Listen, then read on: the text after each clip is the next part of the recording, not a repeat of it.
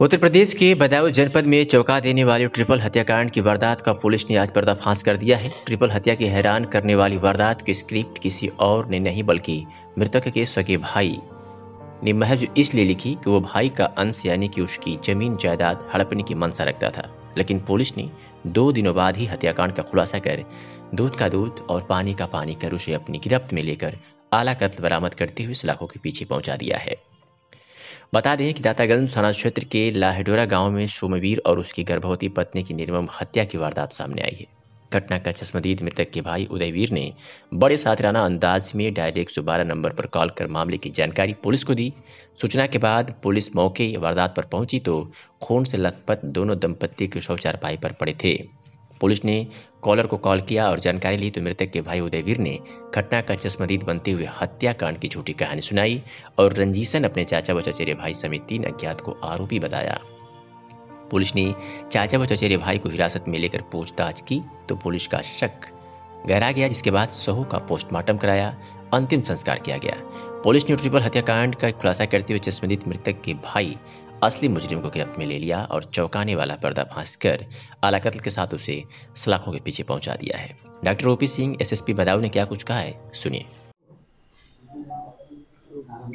ये हत्या का खुलासा किया सर दांतगंज कोतवाली उसने सर क्या मामला था? ये जैसा कि आप लोग अवगत हैं कि जनपद बदायूं के दातागंज थाने के अंतर्गत 14 बटे 15 दिसंबर की रात्रि में एक दंपत्ति सोमवीर सोमवीर और उनकी पत्नी की कुल्हाड़ी और ब्लंट ऑब्जेक्ट से मार करके हत्या का मामला सामने आया था, जिसमें उसके पिता ने, मृतक के पिता ने कुछ लोगों को नामजद अभियोग पंजीकृत कराया था थाना दातागंज के अंतर्गत। इसकी सघन विवेचना की गई तो पाया गया कि जो नामजद अभियुक्त जिनको नामित किया गया है, वो फर्जी नाम, नामजदगी की गई है। मृतक के भाई ने ही जो पिता ने संपत्ति छः बीघे दी थी, उसमें से हिस्सा पाने के उद्देश्य से और उसकी संपत्ति पाने के उद्देश्य से अपने, रात्रि में अपने भाई और उसकी पत्नी को कुल्हाड़ी से और नल के हत्थे से मार करके उसकी हत्या कर दी कर दी। इस अभियुक्त की निशादेही पे जो आला कत्ल है कुल्हाड़ी और नल का हत्था, उसे बरामद किया गया है। इनकी बॉडी पे और इनकी शर्ट्स पे ब्लड के शेड्स मृतक और मृतका के पाए गए हैं।